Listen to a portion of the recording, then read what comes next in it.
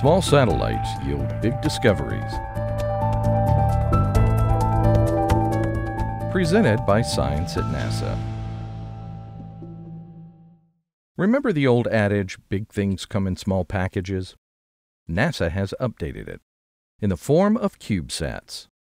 Imagine a real working satellite that's so small you can hold it in your hands. Just 4 inches or 10 centimeters across, these cubes can be expanded incrementally depending on their specific mission objectives.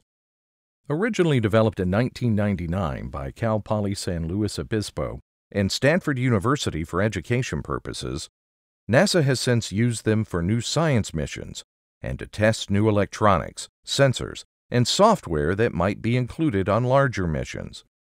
Mike Seablom, Chief Technologist for NASA's Science Mission Directorate, says the ability to test new technology at a fraction of the cost of a larger satellite makes them invaluable. It really opens your eyes to many possibilities. Just as eye opening is the way CubeSats are quickly unlocking new scientific data. For example, while conventional satellites have long observed clouds and have provided estimates of the liquid precipitation they hold, they have never observed the smaller ice particles that create enormous rain clouds. The CubeSat, known as IceCube, contained a new sub-millimeter wavelength radiometer that could make a space-based measurement of the small frozen crystals that make up ice clouds. After being deployed from the International Space Station in May 2017, IceCube created a global map of ice clouds around the planet. Someday, this technique may help improve long-range weather models and forecasts. A long way from Earth, MarCO A and B travel to Mars and are the only CubeSat so far to leave Earth's orbit. When the InSight mission was launched in May of 2018, the MarCO A and MarCO B CubeSats also began their seven-month journey to Mars. Now InSight has successfully landed on the Red Planet. One of MarCO's roles was to help relay communications during InSight's landing process. Landing data was transmitted to the Mars Reconnaissance Orbiter, where its radio stored and forwarded results to Earth after a delay.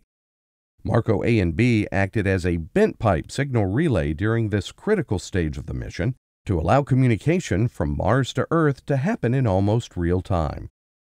According to Charles Norton, Special Advisor for Small Spacecraft Missions and NASA's Science Mission Directorate, another advantage of these compact cubes is they allow for very focused scientific inquiries to take place.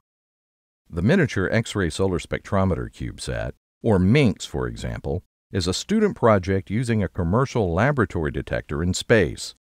MinXSS measures the soft X-ray solar spectrum in the gap of energy coverage between two other missions, RHESSI and IRIS. This gap region in the solar spectrum is important in the excitation of the Earth's ionosphere and of particular interest for observations of solar flares and active regions or consider a discovery as monumental as the origin of the universe itself. One long standing mystery for astrophysicists is where one third of the baryonic or ordinary matter that existed during the early formation of the universe might be found today. Scientists suspect it lies in the very hot halos of gas that surround galaxies. HaloSat is a CubeSat that will examine X rays from oxygen atoms surrounding our Milky Way to determine how much missing matter may lie in the halo of our galaxy. While small in size, CubeSats have potential to make big scientific and technological impacts on Earth, in our solar system, and deep into the universe.